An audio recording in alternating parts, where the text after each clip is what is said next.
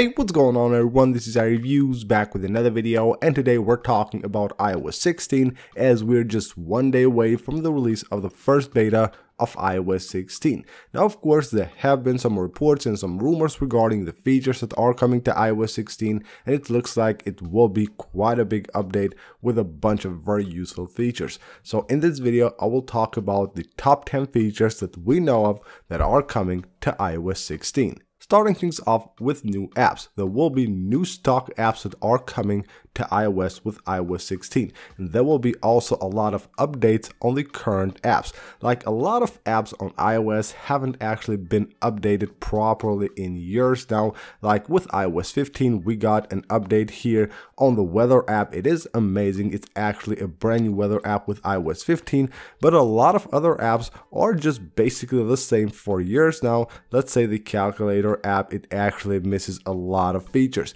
So with iOS 16, we will get a lot of updates on the current apps and new iOS apps as well. Moving on to the lock screen, there will be a much better lock screen with iOS 16. According to Mark Gurman, we can expect a brand new lock screen that is coming to iOS 16. This was actually a rumor that was talked about with iOS 15, but it looked like Apple has pushed away this update and now it's finally coming with iOS 16. So when you look at the lock screen currently on iOS, it's not actually that useful at all. You will have, of course, the normal things, the clock, the date, and it will have two two buttons right here. You have the flash and the camera and you can actually not do many things on the lock screen.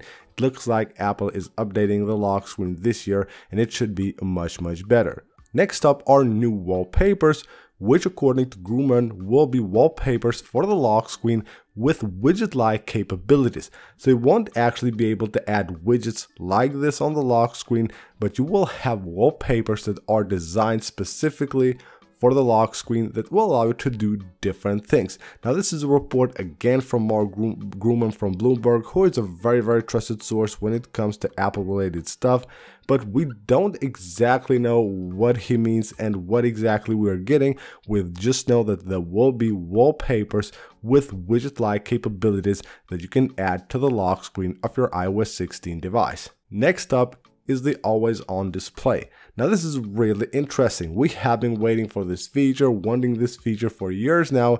It is finally coming to iOS, but there is some bad news as well. This feature is only coming to the newer iPhones and not the current new iPhones, the iPhone 13 Pro and the 13 Pro Max, but it will actually only come for the newer devices that will be released this year. So only the iPhone 14 Pro and the 14 Pro Max are getting this feature, the always on display.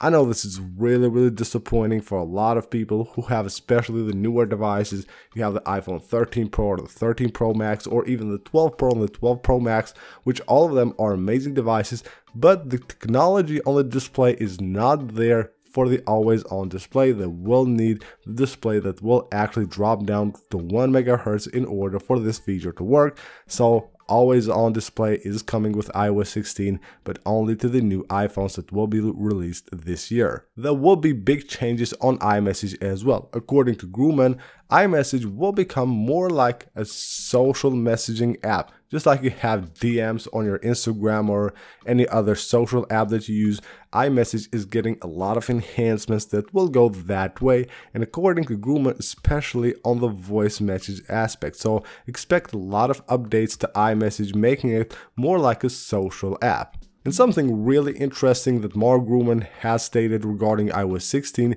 is that there will be new ways of interacting with the system. Now, a lot of people are talking about this and a lot of people think that these will be the new interactive widgets. So we have here some widgets from Widgie and you can see what they could look like. Maybe you have like a control center widget right here that allows you to just turn on and off stuff directly from the home screen without having to invoke the control center at all. So that would be pretty cool. And you can have, of course, you can have, of course, a lot of different widgets with which you can actually interact and do stuff directly on the home screen. So this new way of interacting with the system that Gurman is talking about might be the interactive widgets. Now on his report he talked about this, but the only thing he said is that there will be new ways of interacting with the system and we don't know exactly what that means, but we're supposing it is the new home screen widgets which now will be interactable. Also, we're getting brand new notifications with iOS 16 there will be redesigned notifications so completely new system of notifications with iOS 16 this is also just like the lock screen feature. This was supposed to come on iOS 15 as well even though iOS 15 had a few updates with the notifications like the scheduled summary. That's really cool. Of course an amazing feature. But we're expecting to see a total redesign of notifications on iOS 16 a really interesting feature that is coming to iOS 16 is crash detection. This has been reported a while ago. It is something just like you have the fall detection on the Apple Watch.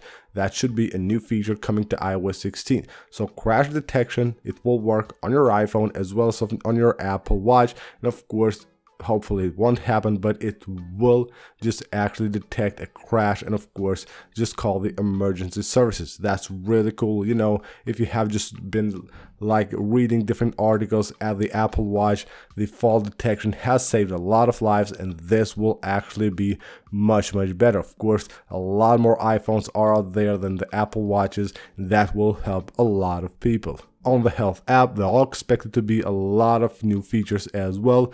New health tracking features are coming to ios 16 this again according to mark gurman we will get a lot of updates on the health app on the iPhone as well as of course on the Apple Watch. Even though the health app is not coming to iPadOS or macOS, we will get new tracking features on the health app with iOS 16 and there will be a lot of new accessibility features.